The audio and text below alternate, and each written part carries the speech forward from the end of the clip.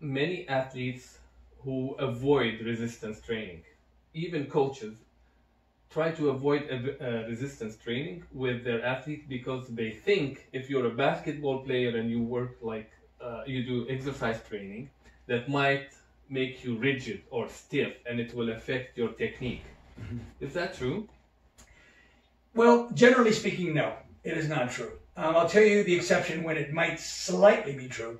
But let me first start off by saying that this idea was, for the most part, you know, uh, understood to be false um, 20 years ago. In other words, 20 years ago, 30 years ago, you would hear it more, much more often. People would say that you become muscle bound, you become stiff, right? You'd be, you would lose your touch, right?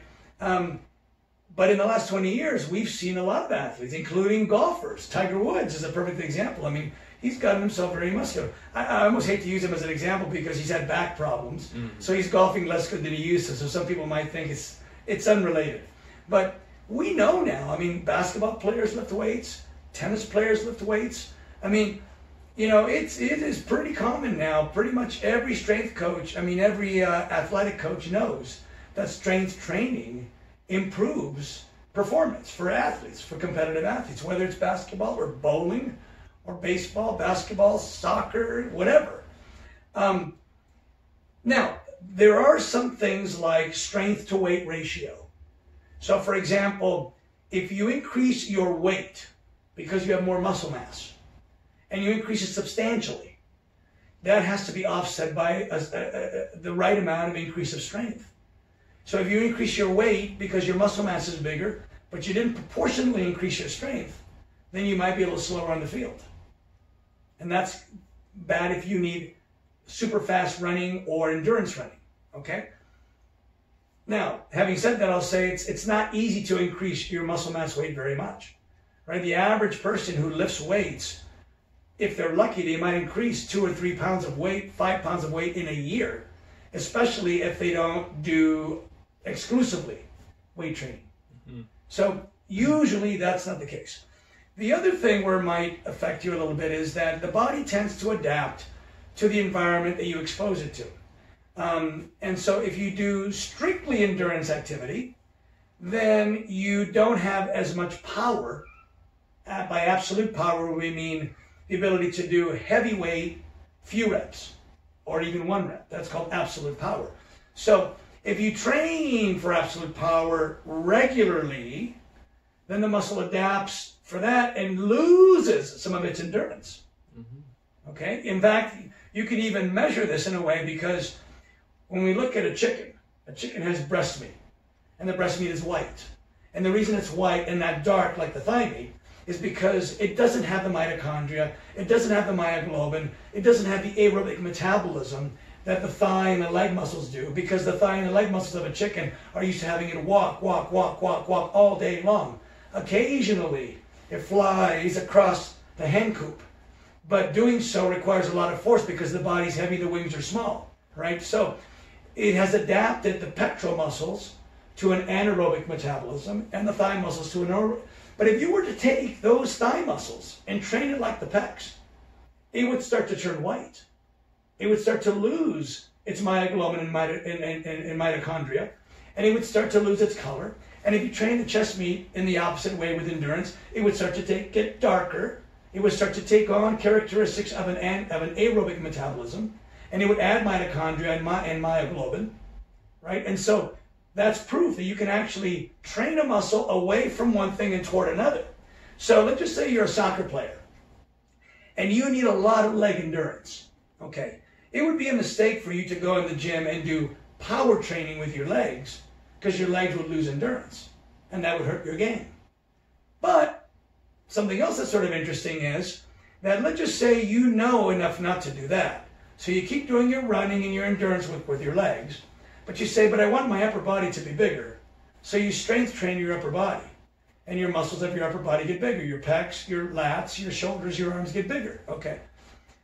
That could be a problem on the field for two reasons. One is because you've probably increased your weight some, right? But more importantly is the body is a system. So there's a systemic effect. Something in the legs acknowledges that something else going on somewhere else is requiring more power and less endurance. And so it starts to lose a little bit of its power and gain, excuse me, a little bit of its endurance and gain some power, even though you're not training the legs that way. Mm-hmm. The body tends to unify things, right? This is what cross education is all about. This is why I can train my left arm, and my right arm will get five, eight percent of the benefit of, have, of working my left arm when my right arm is in a cast and it's broken, for example, right? So the body senses what everything else is doing, all right? So in those cases, you can modify how much weight training you can get away with. But generally speaking, if you're a tennis player, you're a basketball player, doing high repetition weights, um, uh, weight training with relatively moderate weights will most likely improve your performance on the field, especially if you continue doing the skill training alongside it. And the type of uh, exercise to choose is important? Well, yeah, if you, you obviously want to improve the strength of the movements that you do in your sport, right? So if you're a pitcher, right, and you're going to do forceful internal rotation of this humerus, you're going to want to simulate the resistance training so the muscle that causes that movement is stronger, right? If you're a soccer player, your quadricep, right, is going to need some power. Anything that you work, if you're a shot putter, you know, simulating those motions will help your sport. Mm-hmm. But you, that doesn't mean that it replaces the skill training. You still have to do the skill training because a lot of that has to do with timing and gyroscopic. So you have to do them both. Okay. So break 20 don't don't fit in the equation. Right. That's right. Break 20. Well, let me put it to you this way.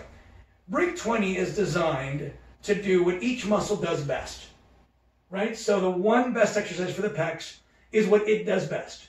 And in that sense, strengthening all the muscles of your body will enhance your sport, right? So if you do the break 20 or you do one best exercise as best as you can with your facilities, access to the facilities you have, you can do those 20 and improve everything. Improve your physique, improve the way you feel, improve the way you, you, you, you, you do chores, improve the way you do your sports.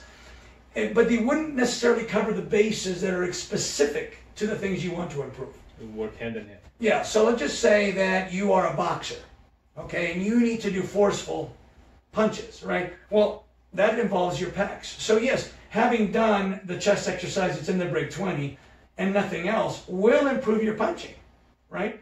But it wouldn't be bad to also do, if you're that kind of athlete, motions that help you do exactly what you do in your sport. So, a lot of times you see someone with a pair of dumbbells and they're punching with the dumbbells. Well, guess what? This dumbbell is wanting to go down, not back.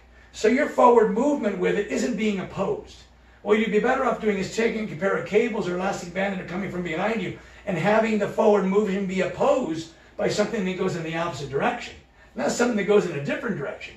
When you're in the ring and you're boxing, you're not encountering any downward fall of the gloves right? So just the weight of your arm, of course. But if you want to be a more forceful puncher, then you're going to want to simulate that movement with an opposing resistance that goes the opposite direction.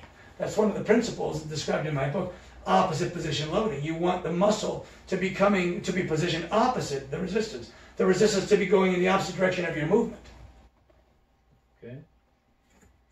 Yeah. It's sensible, right? Yeah, it is. Okay. Well, thank you very much. Thank you very much.